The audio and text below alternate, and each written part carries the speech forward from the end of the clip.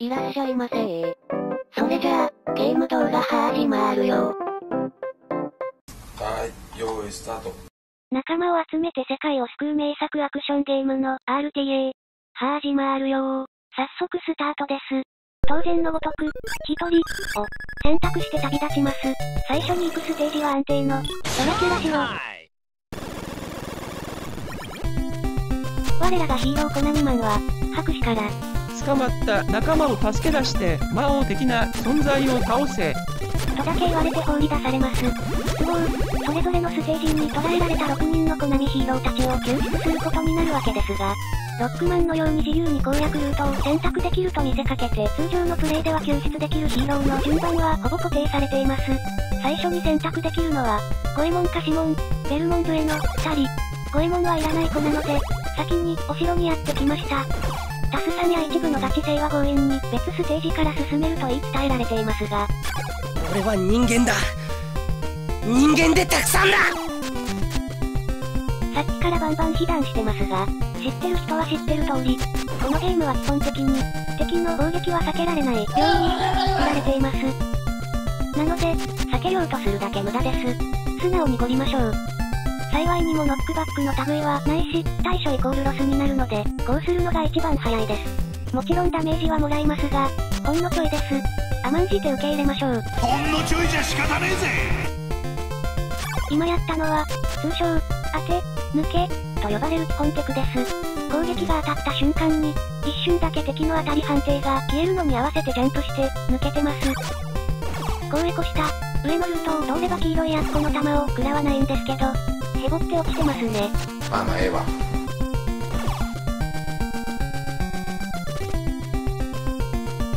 そろそろコナミマンの体力が、やばそうなのでレディにチェンジします。レディは未満に比べて、リーチが1ドット長い、セクシー、エロい、と、3つの要素で勝っています。メスという点以外は未満の完全上位互換です。このふわふわとこは突っ込めば、意外といけます。このゲーム全体に言えることですが、とにかく自キャラの位置が前すぎます。これは、2P プレイを想定した配置なんだと思うんですけど、おかげで敵キャラが画面に現れてから接触するまでの時間がありえないほど短いです。ただでさえきついのに、このクソ魚のような素早い敵は、尋常な反射神経で撃ち落とすことなど不可能です。諦めましょう。とか言ってるうちにボス戦です。このカエルは、ダドボールさんというそうですが、初代ディスク版から、ペケロッパ版、クソゲー版、月下以降の作品まで含めて、あらゆる悪魔城シリーズには未登場の完全オリキャラです。個人的には良いデザインだと思うし、逆輸入しても良かったんじゃないかなと思ってます。そして、鍵を取ったら即自殺して、基地に帰ります。こ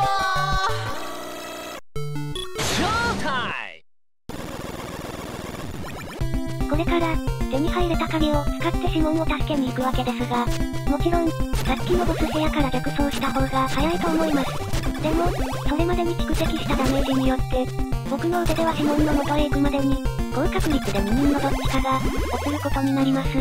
そうなったら大幅ロスだし、だったら、いっそのことでスルーしてやり直した方が早いと判断されました。二人しかいないんだからしょうがないじゃん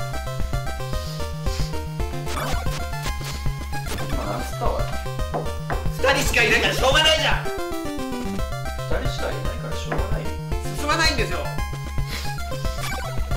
普通のやり方でやってるからだろ。うだったらその場合動きはいいじゃん。そんなこと言われたって。そんなこと言われてたんだよ。ななですか？いいからしょうがないよ。何するんですか？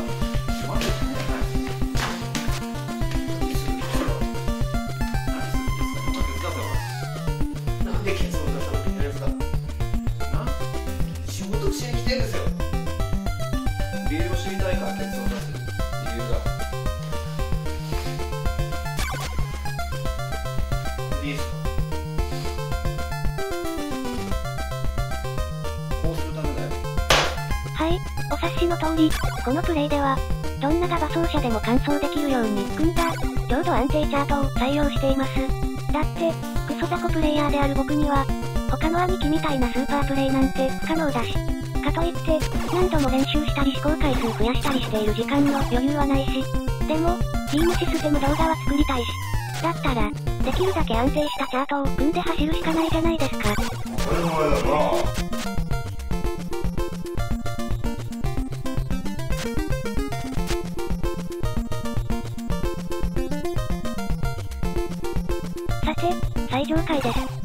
左奥のアブイ足場を、渡った先にシモン、ベルモンブエが、幽閉されています。このアブイ足場は一部が消えたり現れたりして、タイミングを見計らって飛ばないと、とっても危いんですけど、なぜかここでは足場が、動きません。あれ？オカピーボ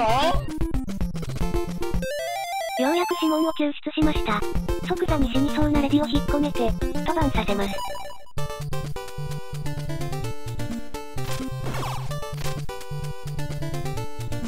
ちゃんとブロックが消えましたね。なんだったんだろう？上限キャラ数の問題かな？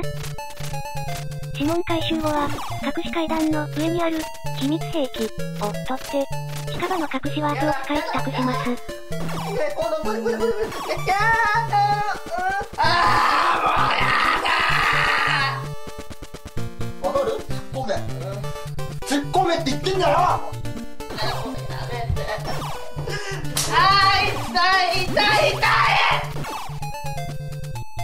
プロで、クロス、をゲットしました。とっとと帰ります。もう来ねえよ、べ。早く私下しなきゃ。肌と会話して体力を、回復したら、次はルーキーを助けるために、港ステージへ飛びます。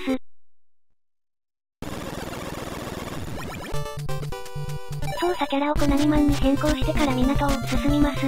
さっきも言った通り、敵キャラの出現から接触まで、刹那の間しかないので、基本的には、B 連打でフラッシュピストンマッハパンチしながら進むと、通常プレイでは安定します。そして、ここでおもむろに賭博団に入場。リグシャッコーみてえな顔のやつと一緒に超反爆地とシャレ込み。これから必要になる分の弾丸を揃えます。このあ、ゲダマー、超元のくせに、頭がエアバックなので、このバクチはプレイヤー側が絶対に損をしないようになってます。フィフティフィフティのギャンブルに勝つと、手持ちの弾丸が倍プッシュ。負けると、手持ちの弾丸が半プッシュ。ということは、延々とコールし続け、偶然、こちらの勝ちが重なった時にうまくオーバーすれば、ジャックポットです。クリフハンギングな時にルーズした場合は、確かキックアウトされたと思うんですけど、そんなこと、よっぽどハードラックと、ダンスっちまわない限り起こりません。ていうか、これ、めっちゃ運良くない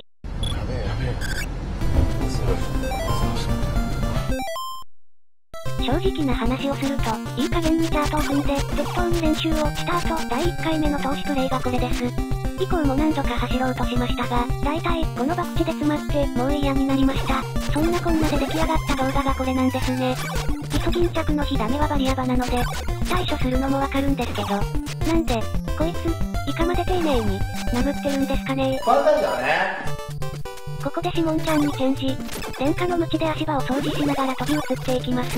この巾着ゾーンがあるから、シモンちゃんを仲間に加え入れないといけなかったわけですよ。さっきもちょっと言った通り、巾着が花開く前に、インファイトを行うことで、シモンちゃん不在でも突破できるそうなんですけど、無理無理無理埋めないこのクソチャートを組む前に、強行突破の練習もしたんですけど、半日挑戦した結果、半分も、進めず、もう嫌になりました。す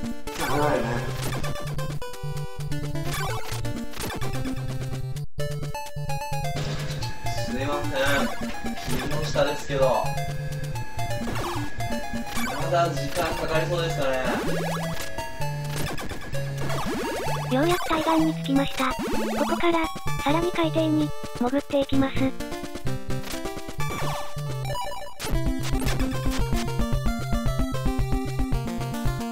ここを右に行くと、2万の専用武器である、ビームガン、が落ちていますが、このプレイにおいて、2万は一貫して、肉壁なので、そんなものは、不要だ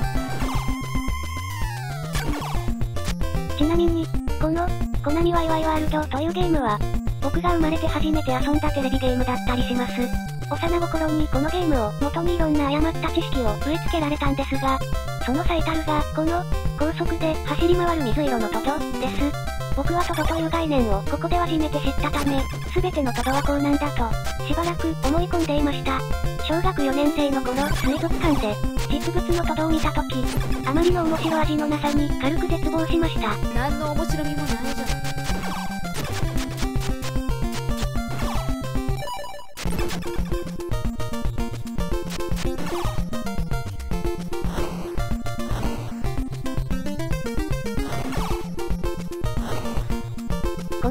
ステージには、ドラキュラ城のようなボスがおらず、鍵はそこら辺に放置されています。そして、ここで鍵を回収した後に、2万を犠牲に捧げることで、ショートカットを行います。対処するのはいい。食らって抜けるのもいい。だけど、対処した結果、食らうのはいただけない。編集中によくよく考えてみたんですけど、さっきの鍵があったマグマ地帯を右に抜ければ、マイキーの檻まで近道できたんですよね。なんで、この人は来た道を戻っているんでしょう？これがわからない賢明な視聴者初心におかれましては、そろそろ、チャートだけでなく、プレイングまでガバガバであることに気づかれる頃合いだと思います。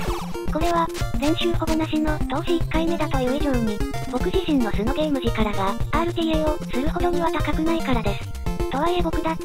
小学生の頃クラスで3番目くらいにゲームが上手かった、程度の、ゲーム力保有しています。で、そのゲーム力をもってすれば、世界記録は無理でも、RTA 走り切るくらいならちょろいだろって、思ってたんですけど、結果は、こんなありさまです。実際にやってみないとわからないことっていっぱいありますよね。ガチの RTA 奏者兄貴たちの、ゲーム力って、どんだけなんでしょう？とかなんとか言ってる間に、マイキーの折前、地獄の、巾着地帯ですね。ガチ勢は、ここも結構突っ込むらしいんですけど、僕はそんな怖いことしません。ああいう勇気はヒップの勇本当の勇気とは別のものだだって、ここまで走った時点で、もうだいぶ、このゲームを二度とやりたくない気分になってるし、とりあえず一回でもクリアして、さっさと終わらせたいという気持ちになっているからです。真相はそういうことだ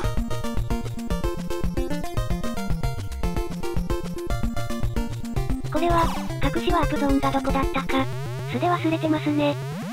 というわけで、未成年児童を連れ去り、宿に戻で、先ほど犠牲に捧げた2万を、復活してもらいます。仲間一人を復活してもらうためには、なぜか100個の弾丸を要求されます。そのために超反爆地で弾丸を稼ぐ必要があったんですね。2万を生き返らせたら次は、いよいよ鬼門である大都会ステージに、向かいます。当初は2万とレジの2本分しかなかった体力ゲージが、指紋とマイキーが加わったことにより4本となり、2倍になりました。リバイリバここからもわかる通り、このゲームは仲間を増やすたびにプレイヤー側の体力が加速度的に増えていきます。アクションゲームのハラハラ感というのは、いつ死ぬかわからないという緊張から生まれるものなのですが、このゲームではガンガン体力の上限値が増えていくために、普通のアクションゲームのように作ったら仲間が増えるごとに緊張が失われることになります。そこで、そんなバランスを調整するために、敵の攻撃は基本的に回避できないという仕様が生まれたのだと思います。それが端的に現れるのがここから先の後半ステージです。例えば、こんなのどうすればいいんですかね？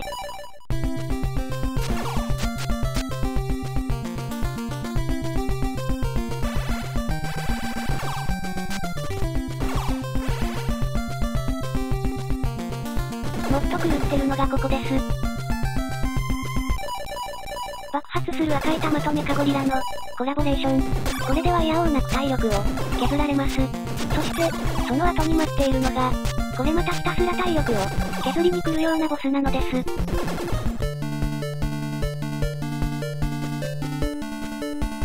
それでは、このゲーム最大の強ボス戦に、行くぞ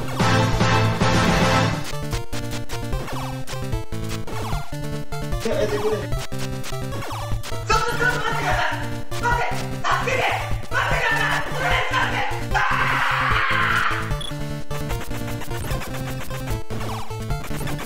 へ、アマちゃんが、べ、というわけで、ボス本体と戦闘開始です。このメカゴリラ、強ボスとは言いましたが、実は、道中と、板のサーカスがひたすら痛いだけで、本体自体は、指紋で適当にくるくる回るやつを投げてるだけで、鍵を取ったらすぐ自決。狂気のシナモン研究所。すべてのキャラが死ぬと、強制的に、基地に戻され弾丸半分の、状態で2万とレジのみ復活してもらえます。シモンとマイキーは死んだままなので、再度ハゲの元に生き生き返らせてもらうことになるのですが、ここで2人分の弾丸、計200発が、必要になります。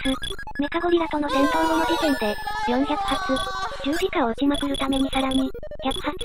ということで、計500発の、弾丸が必要になったわけですね。そのためのあとそのための拳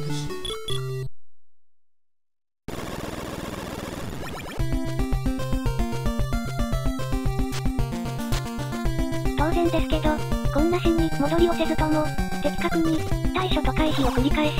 きちんと体力を維持したまま進めば、ボス撃破後にそのまま仲間を助けに行くこともできるし、そっちの方が99割早いです。だけど、僕の腕ではよって、1割の突破率しかないということが、練習の時点で判明したのです。だとしたら、タイムよりも安定を、取ったルートを選択することこそ必要。そうは思わないかレイブちなみに、このぴょんぴょんするのみみたいなロボット、ビリビリするでかいのについては、五右衛門を使えばノーリスクで、撃退可能です。まあ、いない人の話を、しても仕方ないし、デスベホマによってあり余る体力があるので、どっちにしろ、取る方が早いんですけどね。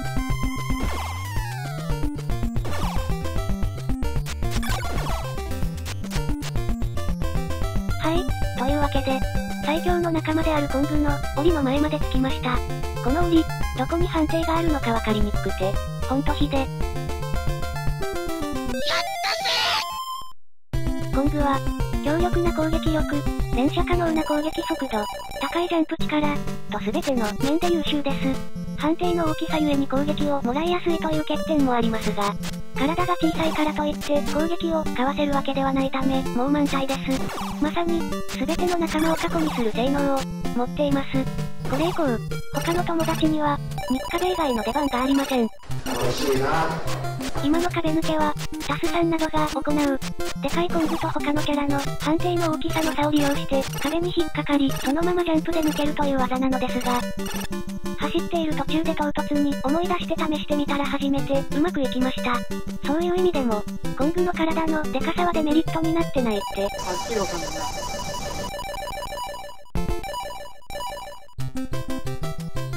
とは、空飛ぶ山田うどんみたいなやつを、避けながら基地に戻るだけです。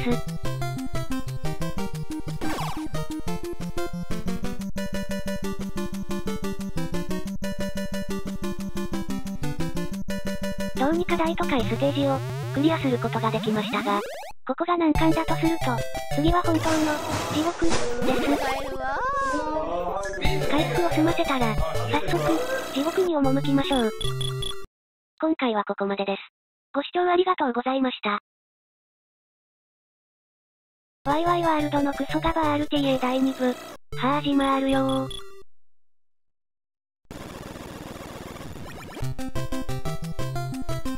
序盤から最高戦力であるコングを投入します。そうでなければ、この戦世生き残れない。見よ、コングのパンチ力、地獄の亡者も一撃だ。圧倒的じゃないか我が軍はしそのコングの力を、もってしても、この地獄では苦戦を強いられます。見ろ、コングの体力バー、地獄域まで一撃だ。冗談じゃこんなはずじゃお前早く加勢してくれこんな感じで、地獄ステージでは、敵からの攻撃がさらに熾烈を極め、一瞬の油断が命取りになります。りた2層目のフロアは、くるくる回る般若みたいなのが、左右から現れます。超キモい。まあ、キモいだけで、落ち着いて対処すれば、特に、悲願する要素はないです。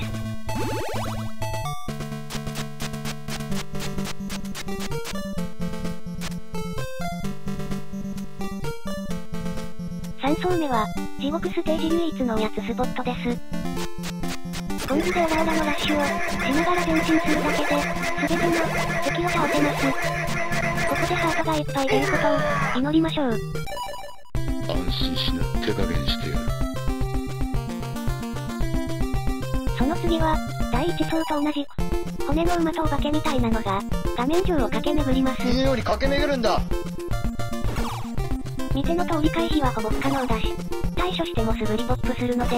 肉壁を前に出して耐えながら進みます。痛いです。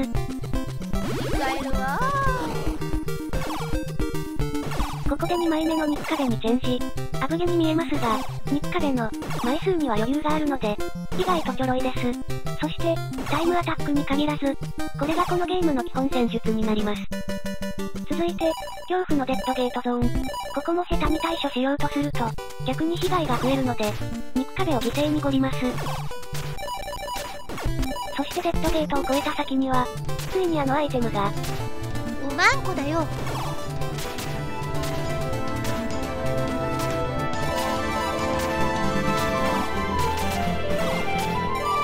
やったぜ今回の地獄、第一遠征は、このマントを安全に持ち帰ることが、目的だったのです。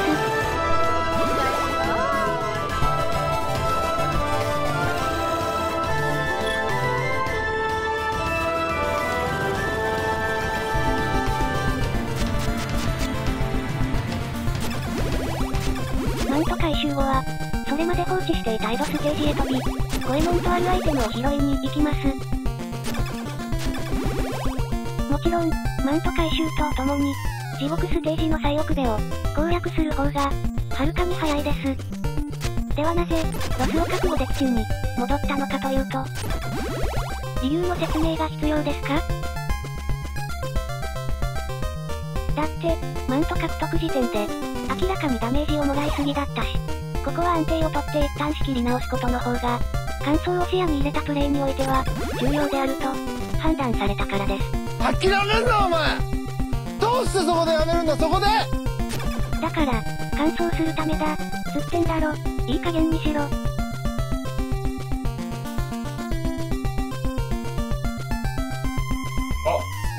このエドステージ、一応、頑張れゴエモンをモチーフにしてるらしいんですけど、その面影はほとんどなく、日本風のイメージをただ散りばめて構成されたオリジナルマップに近い感じになってます。まあ、これは別にエドステージに限ったことではないんですけど、こういった原作ゲームにない、ワイワイワールド特有の微妙にダークな雰囲気が、僕は結構好きだったりします。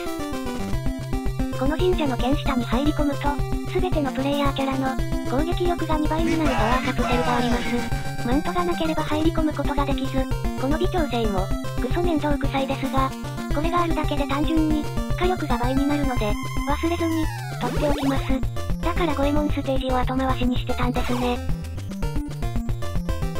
あえ、忍者、忍者なんで。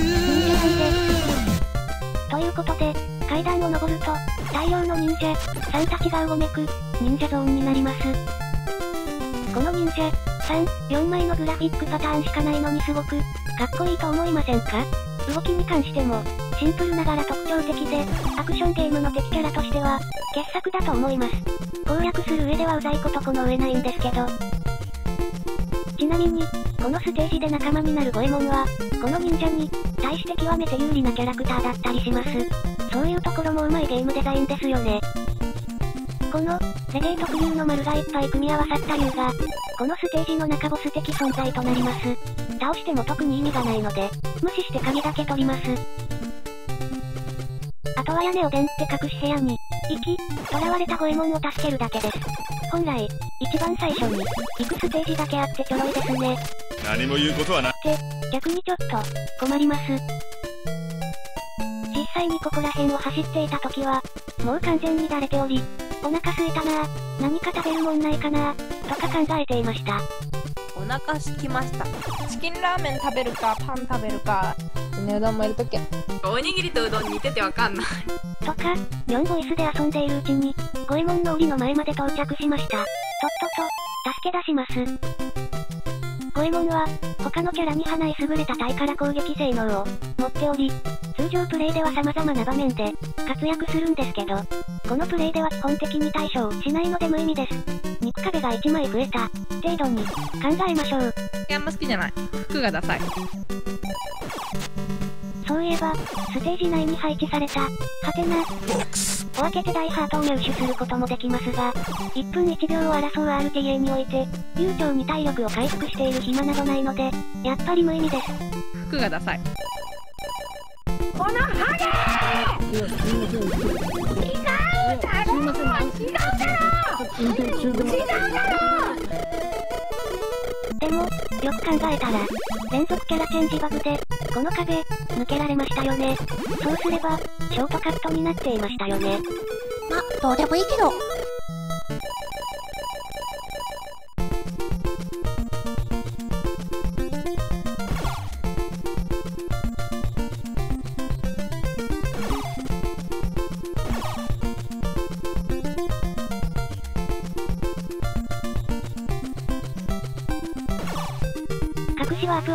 帰ります。私お腹空いたから帰るわよ。いつものようにハゲと会話して、体力を回復したら、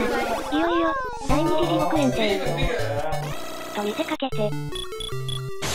今日3回目の正体です三度ドラキュラ城に向かいます。何これ？もちろん、指紋を加え入れた今となっては、クリアのために、ここに戻ってくる必要は、ありません。しかし、このステージにも、江戸と、同じく、マント入手後にのみ手に入れられる、超有料アイテムがあるのです。これがあると、今後の道中がものすごく、安定します。そして、僕はこのアイテムなしで、ここから先の、ステージをクリアすることができません。使えもうほんま使えるわやめたらこの仕事でもいつものいつもあの頑張ってやってますので。頑張ってやってる？頑張ってやってて結構時間遅いね。ん？それは？どうなんだい？すいません。ん？いやすいませんはいいけど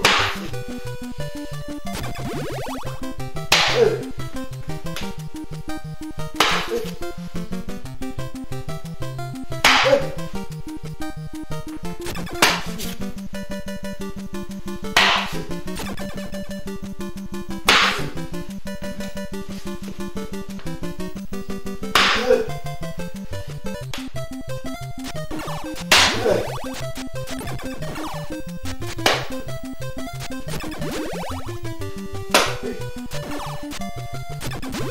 作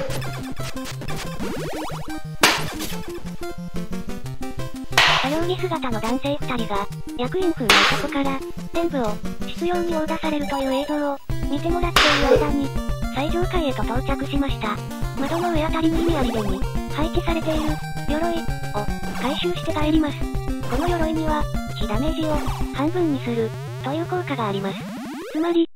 純に考えて、肉壁の厚みが倍になったということです。忘れずにハゲと会話して、体力を回復したら、いよいよ第二次地獄遠征を開始します。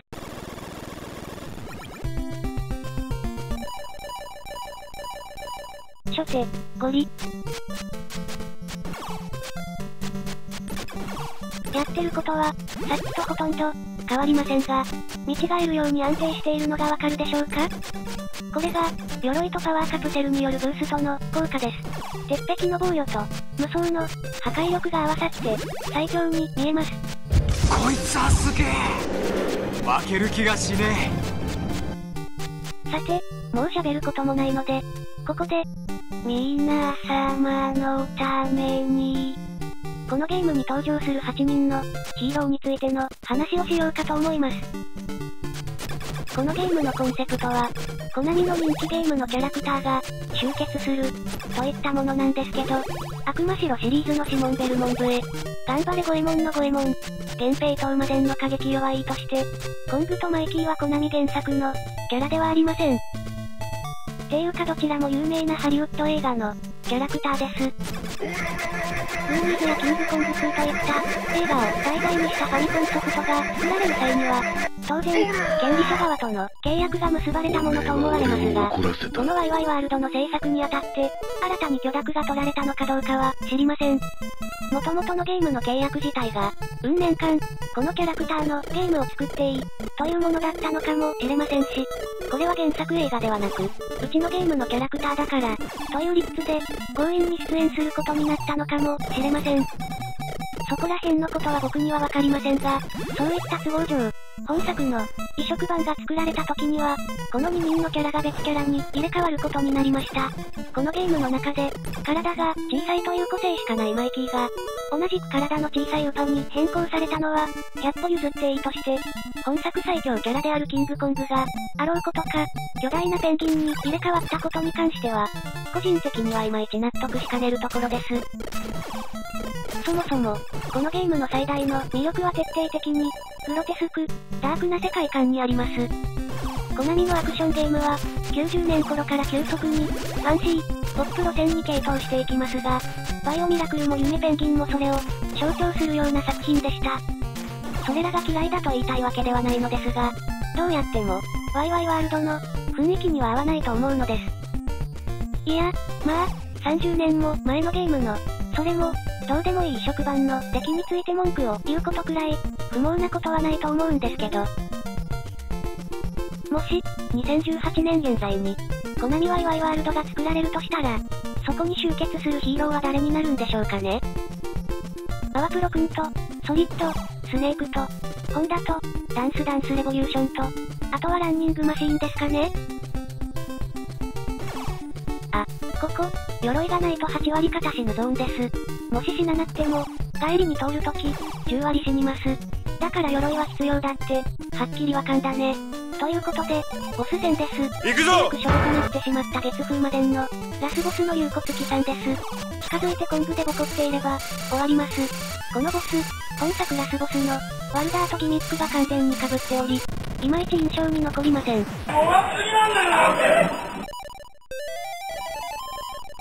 アイテムでのブーストによって、あぶげなく削岩機を仲間に、加え入れました。削岩性能の高いスリケンも、忘れずに入手します。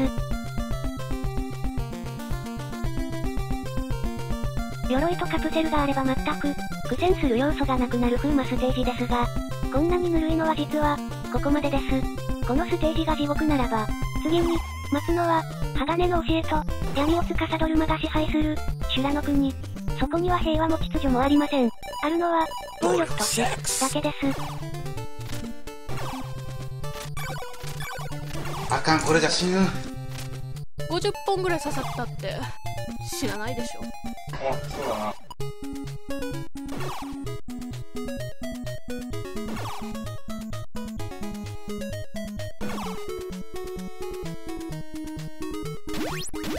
風魔が剣を振るときの、ズワイ、って音好き。帰ったらいつものように、風と会話して回復して、いざ、血のはびこる魔性、イースター島へ。今回はここまでです。ご視聴ありがとうございました。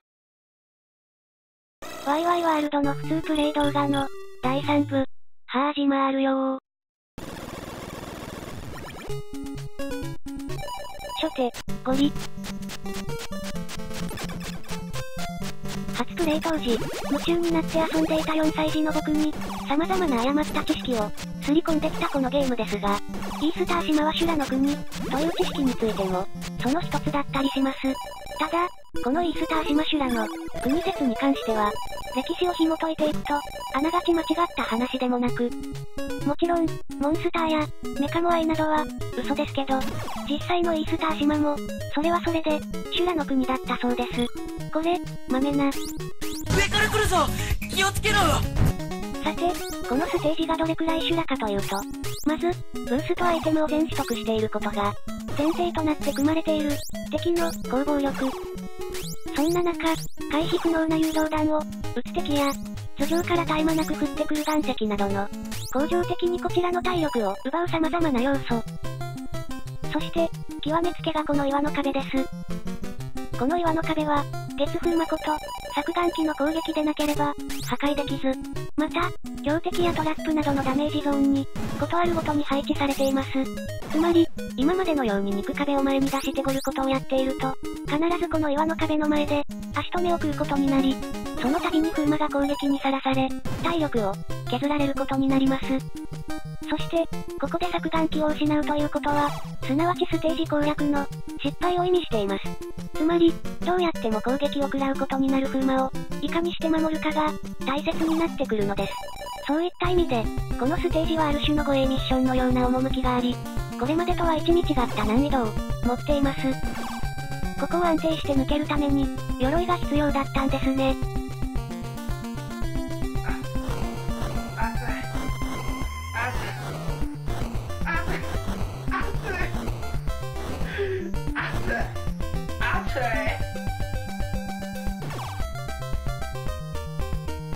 ここまでの道中で、削岩機の体力が減っていることを見越したかのように、配置されたハート、一見、無情に見えますが、ここから先に待ち受けているものを知れば、そうも言っていられなくなります。ついてくるなよここでたまらず、ボックスの会場に、踏み切ります。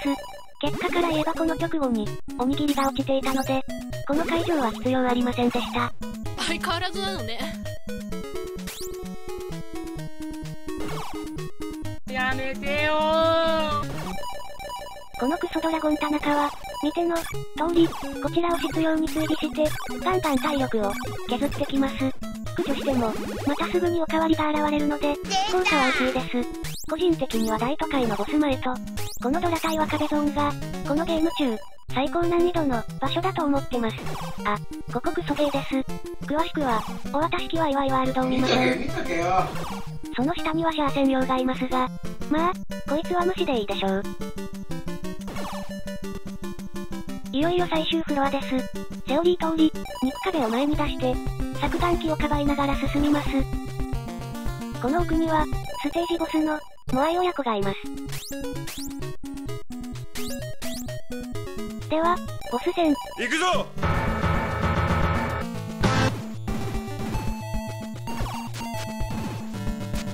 小林を無視して、ママの顔面をゴリラで殴るだけで、相手は死にます。雑魚かというか、コングが仲間になった後は、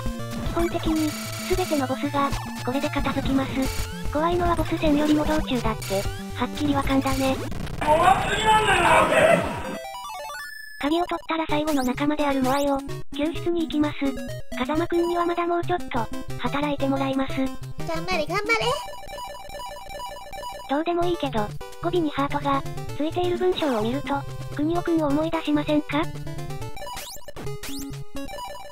動画を撮った後に知ったんですけど、このメカモアイには顔付近に、判定があって、飛び道具を使えば倒せるそうです。まあ、には関係ないし、そもそも、この動画の、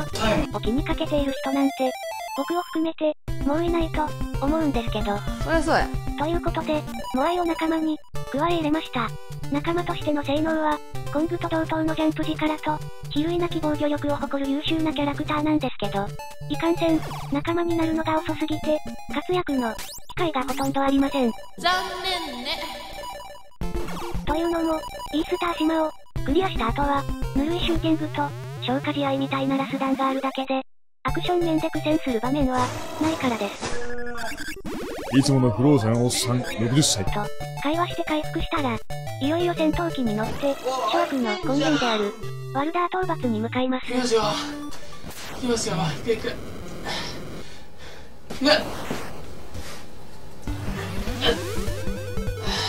さて、ガチ勢の人たちは、そろそろエンディングを、迎えているような時間になってきました。だけど、このシューティングステージというのは、適当に流しているだけで、終わるステージだし、言ってしまえば、半分くらいエンディングのようなものです。つまり、エンディングに入っている、という意味では、僕と、ガチ勢の人たちとの間に、大きな差などなく、あるの派生税誤差の範囲の、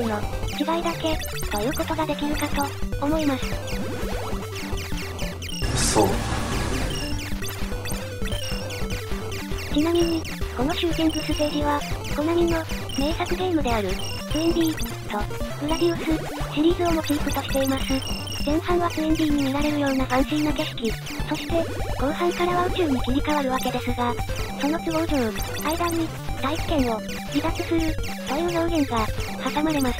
背景をよくよく見ていると、最初は実と同じくらいの、大きさをしていた巣状の、建物が、ステージが進むにつれて、どんどん小さくなっていくのがわかるかと、思います。これは、時期の高度が上がっている、ということを、表現しているんですけど、こういう細かい演出が憎いですよね。ツインビーとビッグバイパーの2機のうち、なぜビッグバイパーを選んだかというと、ビッグバイパーの強化武器が、レーザー、だからです。このレーザーは B ボタンを押しっぱなしにしてるだけで、発射され続けるので、ガチャガチャ連射しなくて済みます。攻撃効率で言えば、レーザーを取らない方が高いらしいんですけど、40分もアクションゲームをやってると、指も疲れてくるし。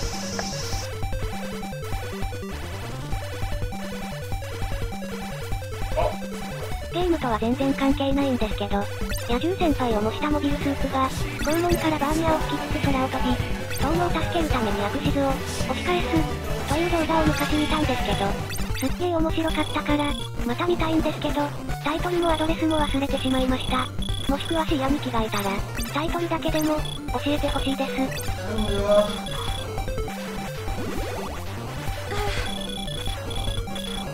ここから、グラディウスではおなじみの、小惑星帯の間を、抜けていくパートに入っていきます。グラディウスのこういう障害物は、そんなに怖くないんですけど、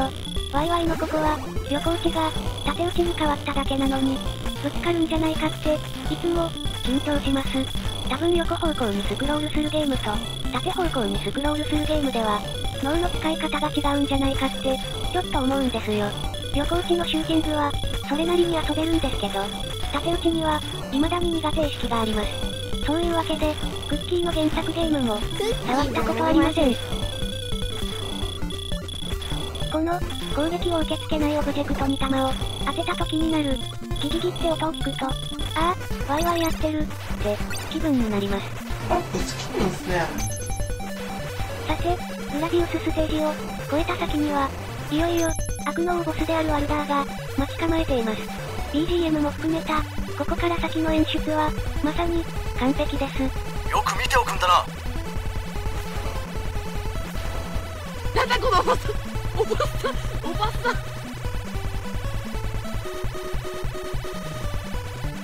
てっきり、進んでいった先に、ボスがいるかと思ったら、プレイヤーの背後から、時期を、はるかに上回るスピードで現れ、瞬く間に追い越していく、一瞬だけ見えたグロテスクな体と、それに似つかわしくないような、女の顔。ここからワルダーの体の上を、通りながら、顔面を目指して進んでいきます。このデザインは、当時のコナミが得意としていた、グロテスク表現の結晶とも、言える出来であり、不軽薄ラブの音楽と相まって、嫌顔にも盛り上がります。そしていよいよ首元までこう、進めました。ピンキーフェイスはもちろんフェイクであり、その正体は、おどろおどろしい一つ目の骸骨。力猛烈な勢いで、砲弾を吐き散らし、近づくもの全てを配置にへと、返す。唯一有効なのは、弱点である目玉への、一点攻撃。激しい攻撃の前にプライマルアーマーですら役に立たず、残る手段は、ただただ勇気と気力を振り絞っあ、死んでた。ということで、ラス弾である、ワルダーの体内に侵入を開始します。まるでミクロの決死剣みたいだここから先は、やっぱり角に黒い、内臓のような光景が延々と、続きます。僕はこんなゲームを、幼稚園児の頃から浴びるように、プレイしていたわけですが、よく、こういった暴力的なゲームは子供の、人格形成上、良くない影響を、及ぼす、という人がいるじゃないですか。でも、現在の僕は、陰夢第4章をはじめとするホモビと、クッキー関連のマット動画を、毎日検索して見ている程度の、ごく普通の善良な現代人であるため、やっぱり、ゲームは教育に、悪い、という言説は、間違っていると思います。そうだよ。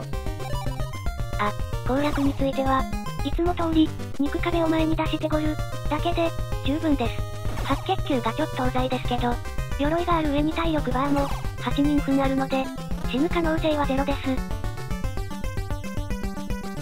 さっきは、この巨大な生物のことを、ワルダーと言ったんですけど、もしかしたら、この巨大な生物自体は、この世界の女神か何かで、ワルダーという寄生虫に、取り憑かれたためにこのような姿に、変わってしまった、という風にも考えることができますよね。そう解釈した方が、ワルダー、イコール、誰にでも芽生える悪の心、みたいに、捉えられるし、物語に深味が出るかも、しれません。さて、この先にいるのが本作最強の敵である、目ん玉の海噌、です。しかし、別に戦う必要はないし、見ての通り、イースター島の、ドラゴンよりもはるかに攻撃はぬるいです。これは RTA なので、もちろん無視します。最後の階段が見えてきました。この先に待ち受けるのが、本作の、ラスボスである、ワルダーの本体です。では、決戦のバトルフィールドへ。行くぞ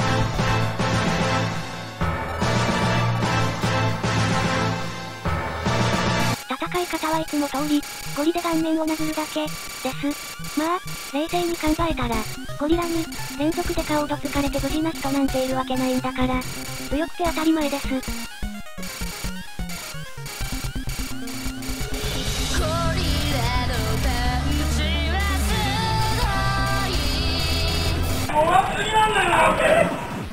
ワイダー撃破完了です。ボス撃破後は例によってラス弾が、崩れるので、急いで船まで戻ります。ちなみに、ラスボス戦のバックで流れていた音楽は、知っている人は知ってる通り、コナミの名作アクション、コントラ、の、BGM です。コントラのファミコン版は、ワイワイワールドがリリースされた当時は、まだ発売されておらず、主人公のビルライザーも、本作には未登場だったんですが、その代わり、BGM だけが、ゲーム本編より一足先に、この作品でお披露目されることになったそうです。そうなのか BGM というと、ラスダンで、流れる曲は、実はコナミマンのテーマのアレンジになっているんですけど、気づきましたか？僕はこれを、割と最近になって、知ったんですけど、聞き比べてみると、ちょっとだけ、おお、となります。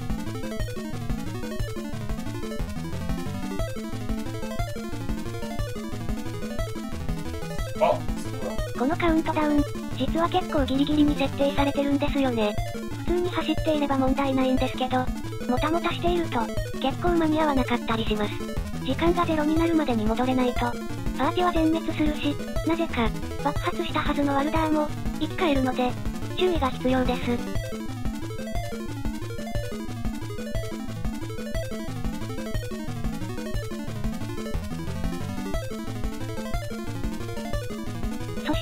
最後に帰り道を、間違えるという白真のガバ。ごめんごめんごめんごめん私が知って間違えてごめんなさい今回、記録を出せなかったのも、この最後のガバが原因ですね。間違いない。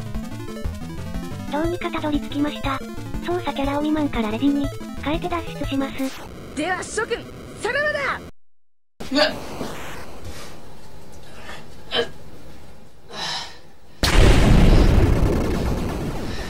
やったぜ